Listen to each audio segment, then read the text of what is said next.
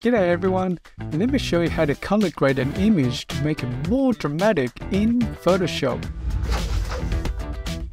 My name is Hoy and in this video we'll turn this image from this to this using gradient maps, luminosity mask, a radial gradient and text. Okay, so to get started, let's open the file that we're going to be using. If you want to follow along, just click on the description below. Let's go to File, open, navigate to the folder that you've got your image saved under, click on the image and then press open. Now the first thing I'll do is just to zoom in a bit so you can see the picture bigger. So on my keyboard, Command 0 and that will fit it to screen. The next thing we'll do is unlock this layer by pressing this padlock here and that will enable us to make any changes that we want we're going to double click on this name of the layer and then we're going to name it to something like model and press return on my keyboard. Now the next thing we're going to do is apply the black and red color that you saw in the intro. And to do that, we're going to use a gradient map. So go to your adjustment layer icon here, click on that, and then go to gradient map. Now don't be confused about this gradient here don't click on this gradient option here. We'll use that later. It's slightly different. For the time being, we'll use this gradient map. Now, this image looks a bit ghostly, and that's because it's using the colors, my foreground and background, and assigning it to the dark, midtones, and the light areas.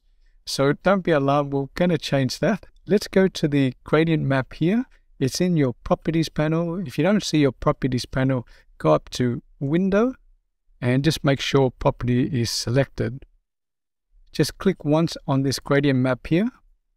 Make sure you've got basic selected and we'll choose this first one, foreground to background. So let's just explain what a gradient map is before we actually use it. So what a gradient map does is to assign the colors of the gradient to the highlights, midtones, and shadows to an image. And this is why you see this color scheme here being applied to the model layer here. So this color stop here represents the color that will be assigned or mapped to the darker areas, the shadows. And you can see that by uh, looking at her hair. Because her hair is dark, the black will be covering all the areas that are in darker shades, in the shadows. Whereas in the opposite side, here the color stop is white. Anywhere that is white or bright, it would assign the color white to it. And then in between, it would assign a gradient two shades in between here. So let's convert our black and white gradient to the colors that we want. So I'm going to double click on this color stop here and then just move this color because to the center of the screen, I'm going to choose this deep dark color here, not quite 100% black here, because that's not the look I'm going for. Sort of somewhere here, you can barely see the difference. I'm not sure whether it's showing up on the screen for you to discern, but it's not quite 100% black, but it's dark enough. Something like this would do. I'm going to press OK. Again, this kind of darkish brownish color will be assigned to the shadow or the dark areas. Perhaps you can see it even better, the result, when we change this color stop to a reddish color. So double click on that. and we're going to choose something like this, the red, and you can see that effect a little bit better. I'm going to press OK on this panel. And let's just reiterate what this does again. On the right of this bar, represents the highlights, the lighter areas. And what it's saying is that these lighter areas, we're going to map or assign red to all the lighter areas, which is why you see red basically plastered all over the image. And then there's a blend of colors here and Photoshop will assign these blend of colors on these tones. So let's click OK here to accept the change. And here we have quite a flat black and red image. It's nothing special. We can do this without a gradient map. There's a lot of ways to do it. So what we want to do is to add some depth to this image. Now you can do that by adding shadow to an object, but we're going to go to the other side of the spectrum and add lighting to it. And that will give us more depth to the picture. We're going to use what they call a luminance mask. And that's just a fancy way of saying we're going to make a selection of the bright pixels and then paint in those bright pixels with white to sort of simulate the lighting effect. Let's go to our channels panel here. If you don't have your channels panel, go to Windows and then just make sure channels is selected. Now what I forgot to do is turn off the gradient map. So let's go back to layers and just turn off the gradient map here that will return the picture to the original state. Go back to channels and here you have all the channels that makes up the colors of this image. So RGB got a red channel, green channel, and blue channel here. And together, they'll make up all the colors that you see on screen here. So here you see the gradient map here. So we can ignore that because that's what we made just a few seconds ago. What we want to do is select the bright pixels of this image here and we can do that by pressing command on our keyboard and then clicking once on the icon here, not the word, but on the image itself. Now, once I've done that, you can see these marching ants around the picture.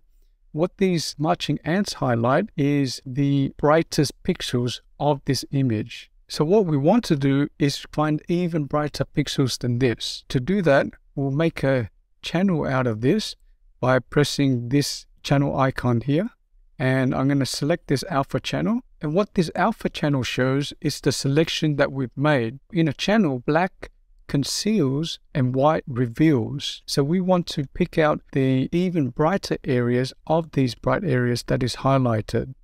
To do that, we need to make an intersection of this channel. We're going to press Command Option Shift and then X should appear. Once it has appeared, click once on your mouse and then another selection will come out and these pixels represent the brightest areas of the other bright areas that we've already selected. I hope that makes sense, but we'll do that again just to make sure that the concept lands. So let's make a channel out of that. And you can see that there's another alpha channel here. I'm just going to move this panel up so I can give myself more space and just explain what's happening here. So what we've done is intersect the bright areas that we've made from the RGB channel with this channel here, the alpha 1 channel, and then we've got even the brighter areas onto another separate channel. So all we're doing is picking out the brightest of the bright pixels. And we've done that once here, and then we've done it again here. And because we want our effect to be subtle, I'm going to do it once more. So I'm going to intersect this selection with another. So uh, on my keyboard, I'm going to press Command Option Shift and then I'm going to press once on my mouse. And now you can see that the selection has changed, which indicate that it's selecting the brightest pixels of this channel here. I'm going to make a channel again and alpha 3 will show up. And you can see that it will get progressively darker and darker. And that is because here on this alpha 3 channel is only showing the brightest of the brightest pixels from alpha 2. And the reason why we've done three alpha channels is because we want the lighting effect on her face to be subtle. So when we paint over her face with white, only a very subtle effect will come out. If we use this channel, there's a lot of brightness coming onto her face and onto her shoulder. So basically, her whole body will be bathed in light, which is not what we want.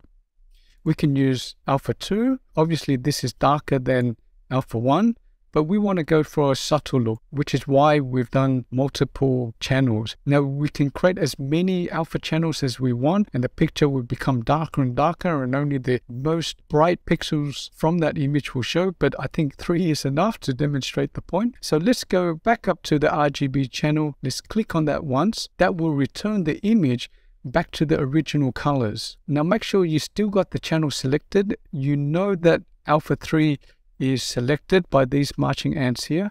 If for some reason it's not selected, and I'll simulate that by pressing Command D to deselect, all you need to do is Command click on this alpha channel here. And that will load the selection again. And this is most important. So if you don't have the alpha 3 channel selected, make sure you click on that. So let's go back to our layers panel by clicking here. I'm going to turn my gradient map back on and then create a normal layer by clicking on this icon here. Now the next step is literally to paint on the effect. To do that, let's go to our brush tool over here, or we can hit B on our keyboard. Now set your opacity to 100 and flow, a really low flow, something like 5%, and then press enter. I'm going to resize my brush by pressing the left bracket key, which is next to the P key on my keyboard, something like this. And then I'm just going to paint over this until I get the effect that I want. Now I'm going to deliberately go over the line here just to demonstrate what to do if you've gone outside of that. I'll come back to that on how to fix it, but let's just paint in the light on the shoulders. Now we want the effect to be subtle so you don't need to go over it that many times, but something like this will be fine. Now already you can see that the image pops out a little bit more than before. So if I turn off this layer that we've created, that looks much better if I turn it back on. Now let's address this point where I've deliberately brushed outside the area because we're not all perfect and we won't get it right at the first time. So um, I don't want to pretend that, you know, the first time you get it right. So let's see how we can fix that. The quickest way is to use your eraser tool. It's over here, or you can press E on your keyboard, E for eraser. Get your opacity to 100%, your flow at 100, and just make sure you've got a hard brush. So click on this and make sure that your hardness is all the way to 100. Now I'm going to zoom in so I can make a better selection by pressing option on the keyboard and scroll wheel mouse up. And then I'm going to pan down a bit by pressing spacebar and then dragging my mouse down. I'm going to resize my brush by pressing the left bracket key, which is next to the P on the keyboard something like this, and then I'm just going to erase it away. Now you can see that this is a manual effort and I'm not a big fan of it. So what I'm going to show you is probably my preferred method. So I'm going to zoom out, fit the image to screen by pressing Command 0. And let's just do it an automatic way by making a mask. I'm going to select my model layer here, click once on that. I'm going to go up to select and select subject. It's going to say, well, you've already got a selection here. We're going to discard your current selection here. Do you want to continue? Yes, we want to discard that. So I'm going to press OK. Photoshop will have a think about it. And then it's made a selection around the model. Now to make a mask, let's go down to the mask icon here the mask is not where we need it. The mask is perfect, but it's on the wrong layer. So there's an easy fix. So we don't need to redo the mask. So just move up to your mask, click and drag all the way up to layer one and then release. Now let's see the effect that it has. So I'm going to turn off the mask by pressing shift on my keyboard and clicking on the mask. So if you look here, you can see the white outside the model's face. Now, if I enable the mask again by pressing shift and clicking on the mask, now it's gone. So that's probably an automatic or an easy way to get rid of any mistakes. Again, the other way is simply manually erasing it by using the eraser tool. There's no right or wrong, it just depends on what you like to do. Okay, so the picture now looks pretty good. If I turn off the lighting effect, this is what we have. If I turn it back on again, this is what we have. And I would say that this looks much better than the flat image. Now, if I'm honest, the background looks a bit flat now. And it would be good if we have some depth to that as well. So what we're going to do is add some light again to the background. This time we use a gradient, not the gradient map, the gradient. So let's go to our adjustment layer icon here go all the way up to gradient. And your setting might be different to mine. So let's just go through one by one. Click on this bar here and then click on basic. We can go to this one, foreground to transparent. Click once here, double click on this color stop to make sure that you've got it on white. Click OK. Double click here. This one, because the color is transparent, so it doesn't matter what color I choose, it doesn't have any effect because the opacity is zero. So if I just prove that to you by clicking on the stop here, the opacity on this side is zero. The opacity here is 100%. So what we're doing is going from white to transparent. Once we're okay with that, press OK. Here we want a radial gradient. So click once here and press once here. You can leave all the settings as it is and then press OK. Now, the reason why the gradient is here, but the reason why it's red is because it's underneath the gradient map layer. And remember, the color of the gradient map is black to red. So what we need to do is just move this layer all the way up to the top, and that will show the effect that we're going for. Now we have two problems. The first is that the gradient is in front of the model, which obscures the main subject. So we need to put the gradient behind her. The other one is that it's too intense. So let's fix both problems, starting with the intensity problem. But first, let's move the gradient to where we want it. So to do that, double click on this icon here.